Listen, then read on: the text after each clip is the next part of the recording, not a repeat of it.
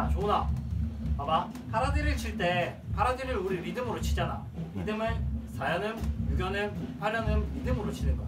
무슨 말인지 알겠지? 메트로놈 틀고 지금 어, 71에 놓고 메트로놈 한번 해볼게.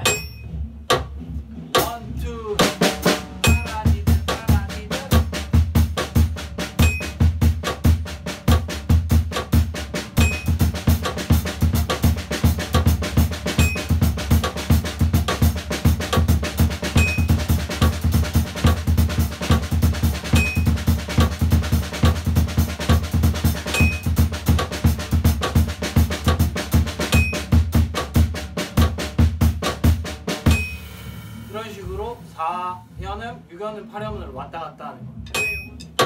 90에 90에 놓고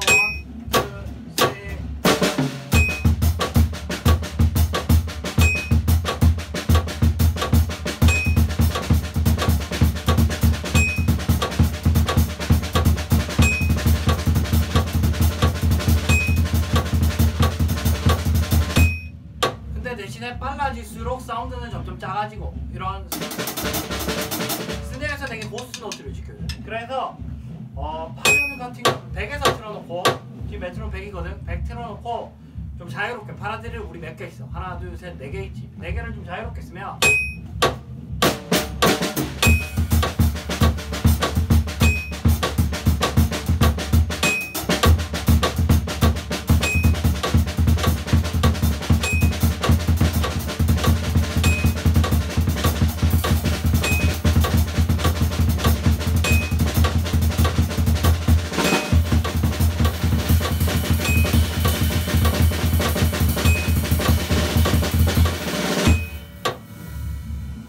자유롭게 쓸 수 있어. 무슨 말인지 알겠지? 오케이?